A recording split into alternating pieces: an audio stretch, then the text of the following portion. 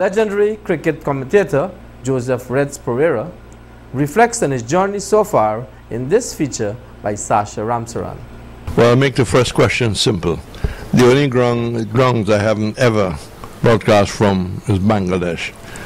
I, I broadcast from all, all over Australia, all over India, where I've been three times, three times to New Zealand. I've been three times, twice to South Africa. I went to Sri Lanka once, Pakistan once. So, um,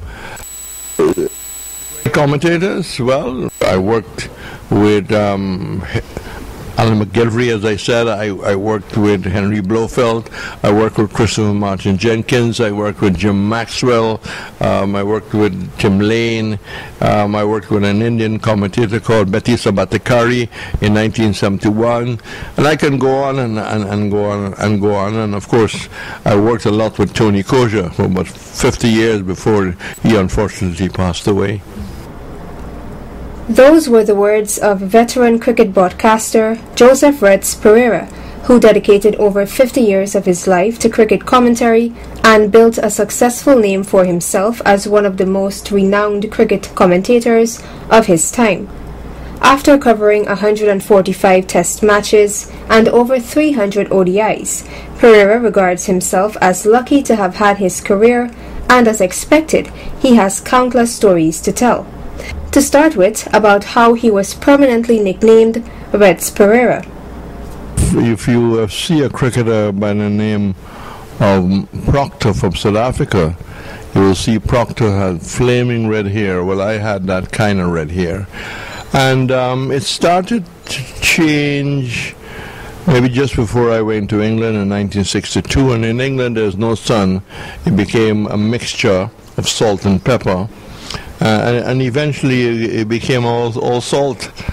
But it's my natural hair. I, I put nothing in it other than soap and water. The 79 year old retired broadcaster noted that his rise to fame and success came even though he hailed from humble beginnings, growing up in the Pomeroon. I grew up in the Pomeroon where there was no um, evidence then of my interests because you hardly heard radio. You know, there was no radio, there was um, no fridges. It was a very humble life. Your river was the bathroom, right? You um, paddled to go to school. You you um, had to battle with mosquitoes and sandflies. My father was a farmer, but was a humble, clean life, you know. And uh, when eventually he, he, took the family to Georgetown, I was eight years of age. And then I began to understand what the city looks like. I got asked to come to Rose Hall in 1961 because they heard that I was interested. British Guiana versus Trinidad right in 1961 because, sorry, Barbados was playing Guyana, Barbados was playing Jamaica at Bourda. So they had two matches. The Bourda game was the best game. They sent uh, another team to Rose Hall, and that's how I started. My first first class game was right here at Rose, at Rose Hall, British Guiana versus Trinidad and Tobago, and then opportunities came. The Caribbean Broadcasting Union. Um, took me to the World Cup in 1975 along with Tony Cozier. But on my own, I used to travel to Trinidad and, um, you know, stay in a friend's uh, home, uh, trying to do as much, much commentary as possible. When asked to disclose one of his most unforgettable matches, Pereira quickly responded, I think the 1950 World Cup. We were in trouble 51 for 3.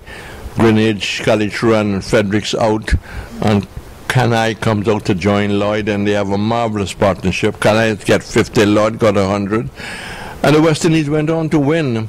Um, there's a test match in Australia where Australia needed two runs to win, and Walsh um, got McDermott caught by Murray um, off his bowling, and West Indies won by just one run, and everybody had a good cry, including the players. With all his years of experience, Pereira disclosed that one of the greatest obstacles he overcame was his very own speech impediment. during that time I was fighting an awful impediment. I stammered very badly. Mm, may I? And uh, it affected me in school, and uh, it really affected my life because at 16 years of age I, I couldn't cope anymore in school. I was being laughed at. I wasn't doing as well as I could do. I was basically bright but I just couldn't get the answers out. And I started working in the British Credit Corporation and uh, I kept following cricket. I used to go watch follow Case Cup cricket, and I used to listen a lot to Radio Australia, and I had the genuine love for it. Joseph Reds Pereira, during his early years, had served as an advisor to the Minister of Education at that time, under whose ministry fell the Department of Sport.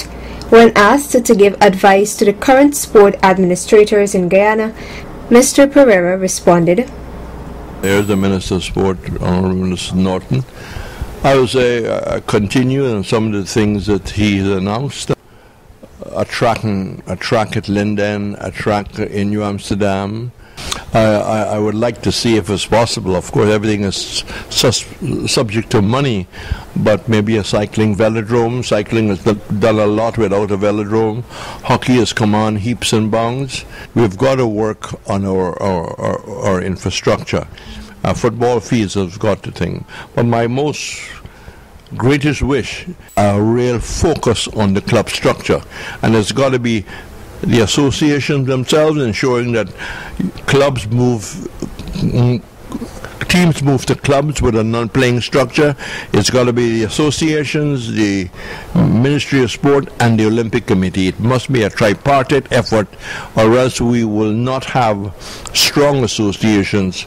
The old adage, weak clubs produce weak associations. Strong clubs, strong associations, greater mandate, better uses of money, better uses of facilities, higher quality of discipline, higher quality of standard. We need coaches' education. It's, it's, it's a long list, I can assure you. The voice of Reds Pereira has been heard by avid cricket fans from around the world, and despite having been retired for about two years from his active involvement in cricket commentary, cricket fanatics can still vividly recall his enthusiastic commentary, painting a clear picture for fans across the world for over half a century. Sasha Ramsaran reporting for Channel 8 News.